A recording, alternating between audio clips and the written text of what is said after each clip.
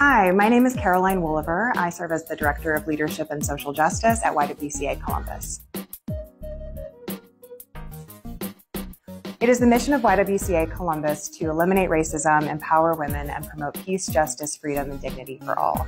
And we do this through a human-centered approach to direct service, both through our permanent supportive housing for women, as well as our uh, emergency shelter for families experiencing homelessness, uh, as well as a before and after school uh, child care center through our YWCA Kids Place program, and finally, our social justice work.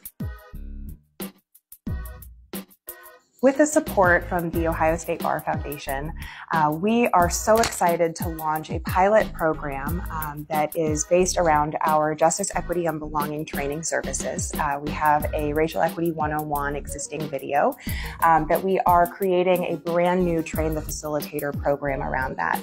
Um, through that program, we are helping to uh, disseminate this information about the codification of racism within the legal system and within the housing system, and how these systems overlap amplify oppression, especially for communities of color.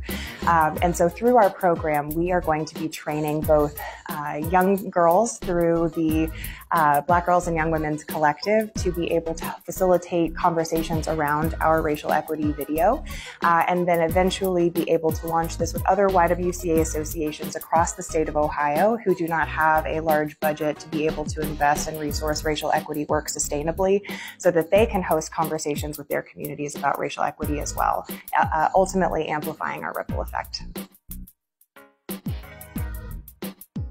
We are absolutely so grateful for the support of the Ohio State Bar Foundation. Uh, we could not do this without you.